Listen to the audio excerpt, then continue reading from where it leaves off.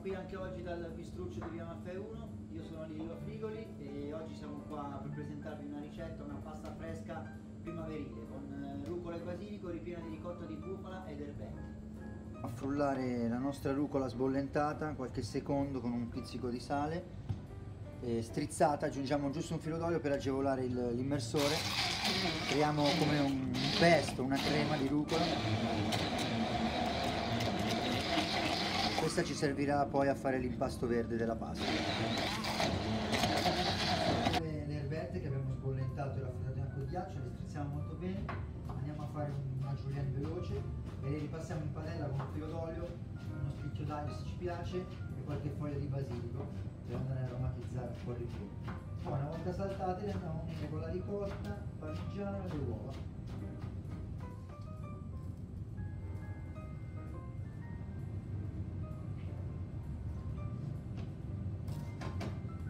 Facciamo scaldare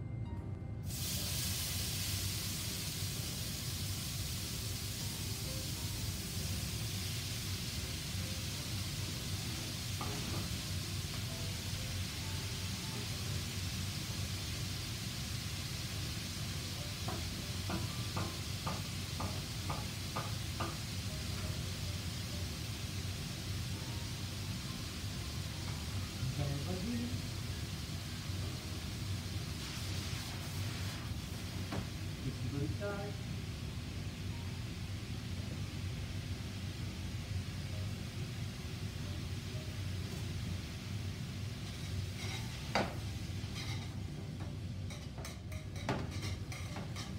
Ok, una volta pronto lo lasciamo raffreddare 10 minuti, un quarto d'ora anche fuori dal frigo e poi andiamo a fare il nostro ripieno.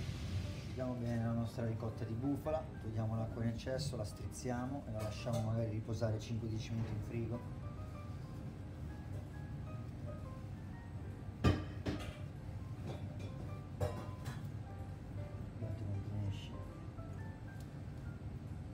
In modo che i nostri ravioli non si andranno a rompere in cottura.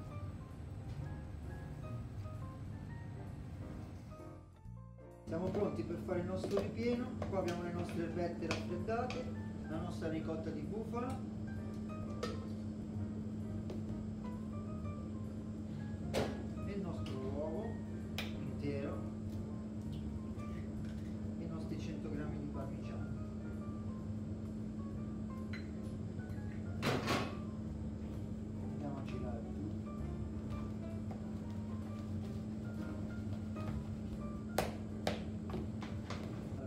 abbiamo un sac poche andiamo a riempire un sac poche per fare il ripieno.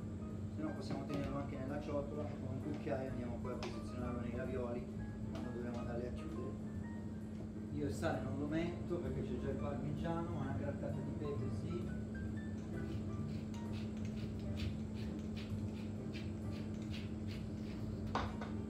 Riempiamo il sac poche che ci aiuteranno a fare a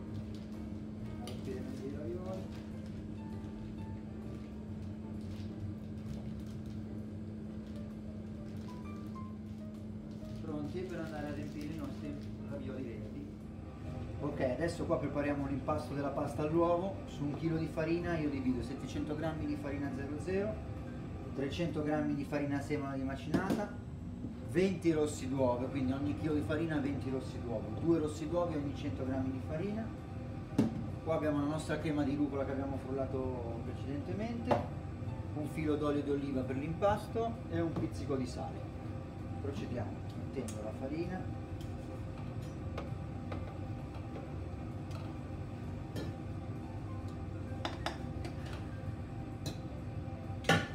Le uova. Questa la sciacquo anche con un goccio d'acqua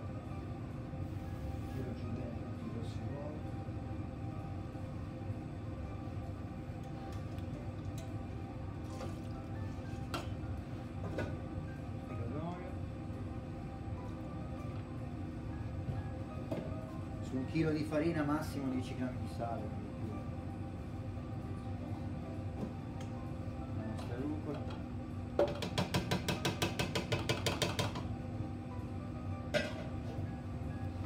eccoci qua andiamo a impastare lentamente per 10 minuti circa. La pasta viene, incorpora bene i liquidi, la lasciamo lavorare per una decina di minuti, non troppo veloce, e poi la lasciamo riposare una volta. Allora siamo pronti per andare a stendere la nostra pasta e riempirla con la nostra farcia di ricotta. Ci tagliamo dei pezzettini non troppo grossi di queste dimensioni e cominciamo a stendere. Un po' di farina mista, semola bianca.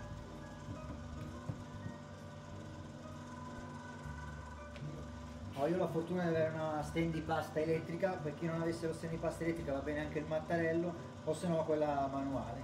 Adesso stringiamo di due alla volta, siamo partiti da 10, 8, 6 fino ad arrivare a uno spessore di un millimetro. Teniamola sempre infarinata la sfoglia se no si incolla. Possiamo anche incordarla la pasta se vi sembra troppo molle la piegate su di se stessa in due o tre volte a mo' di libro e poi la ripassate al lato opposto nello stand di pasta in questo modo. Così rimane più elastica un po' più dura. Quindi riuscirete poi a lavorarla meglio una volta che andate a rimettere il ripieno.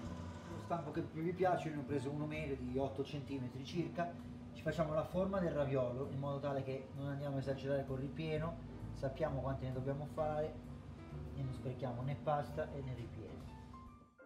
Steso la pasta andiamo a spalmare bene l'uovo in modo che le due parti si incollano perfettamente.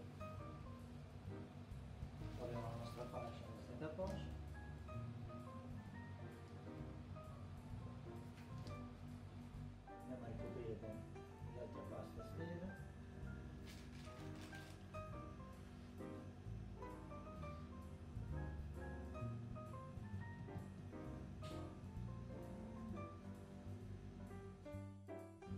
schiacciare bene intorno al ripieno per far uscire l'aria dai ravioli, se no ci rischiano che scoppino in cottura. Poi se avete una tazzina o qualcosa di simile per segnarvi bene i bordi, in modo che il ripieno non esce più,